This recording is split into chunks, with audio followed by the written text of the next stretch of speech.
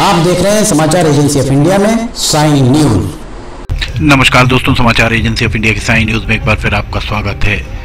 अयोध्या, राम की नगरी, राम जन्मभूमि से आए अक्षत कलश यात्रा धूमधाम से शिव की नगरी में निकाली गई।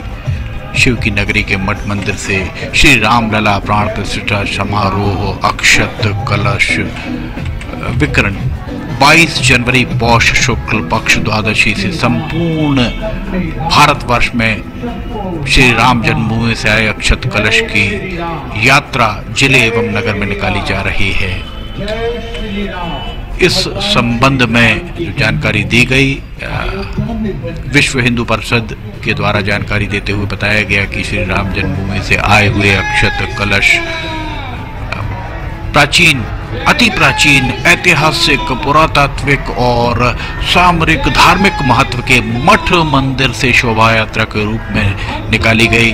इसे शहर के विभिन्न मार्गों से होकर गुजारते हुए शुक्रवार स्थित राम मंदिर ले जाया गया, जहाँ राम मंदिर से शहर के समस्त 24 वार्डों के लिए अक्षत कलश वितरित किए गए। कलश यात्रा की संपूर्ण तैयारी विश्व हिंदू परिषद एवं सर्व सनातन धर्म के नागरिकों द्वारा की गई। यात्रा को भव्य बनाने में विश्व हिंदू परिषद, बजरंग दल का विशेष योगदान रहा। मठ मंदिर में इकतीस अक्षत कलशों को सुसज्जित कर संपूर्ण विधि विधान से धर्मगुरु एवं ब्राह्मणों द्वारा पूजन अर्चन कर श्री राम भगवान की आरती के पश्चात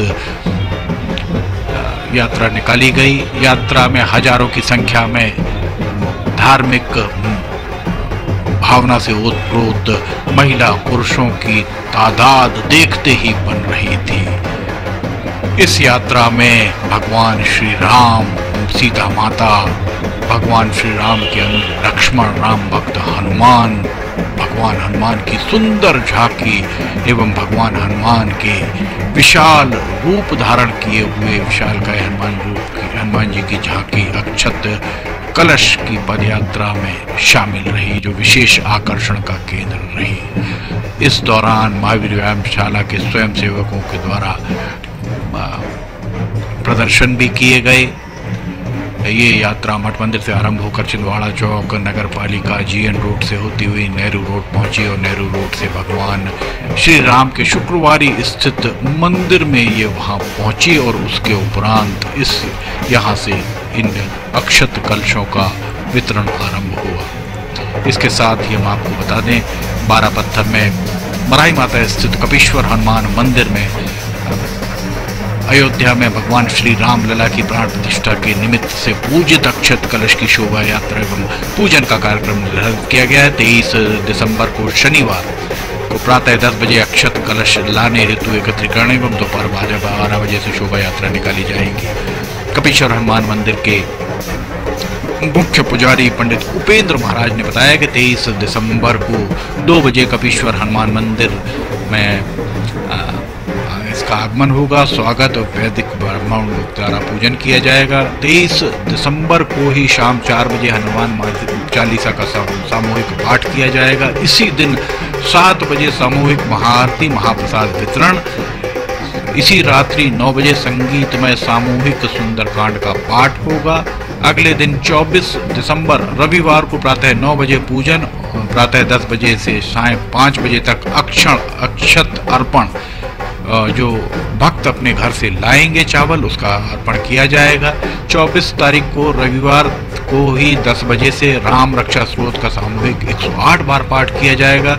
रविवार को दोपहर एक बजे तुलसी मंजरी से अक्षत कलश का विष्णु सहस्त्र नाम से सहस्त्रार्चन एकादशी एवं रविवार को तुलसी स्पर्श वर्जित है। अतः सभी भक्त तुलसी मंजरी को शुक्रवार के दिन तोड़कर अपने घर से लेकर आने की अपील मुख्य पुजारी पंडित उपेंद्र महाराज के द्वारा की गई। 24 तारीख को दोपहर तीन बजे माताओं, बहनों द्वारा सामूहिक सुंदर पाठ का संगीतमय पाठ होगा। 24 तारीख को रात्रि सात बजे सामूहिक महाआरती, महाप्रसाद वितरण होगा। 24 तारीख को रात आठ बजे भजन संध्या और 25 तारीख को सोमवार सुबह 10 बजे अक्षत कलश की विदाई मराही माता मंदिर से होगी ये मराही माता मंदिर का कार्यक्रम समाचार एजेंसी ऑफ़ इंडिया को प्राप्त हुआ, जो हमने आपको बताया। अक्षत कलश संपूर्ण ज़िले में, संपूर्ण प्रदेश में, संपूर्ण संभाग में, संपूर्ण देश में इसी तरह से वितरित हो रहे हैं और वहाँ से ये अयोध्या लेकर जाना प्रस्तावित है। देख सकते हैं कितनी सुंदर यहाँ झांकी दिखाई दे रही होगी। समाचार एजेंसी ऑफ़ इंडिया की साई न्यूज़ के लिए अशोक सोनी की रिपोर्ट। शहर के विभिन्न मार्गों से ये यात्रा गुजरी और धर्ममय शिव की नगरी एक बार फिर धर्ममय होती नज़र आई। यहाँ आपको दिखाई दे रहा होगा। यात्रा शोभा यात्रा यहाँ से निकलती हुई दिखाई दे रही होगी।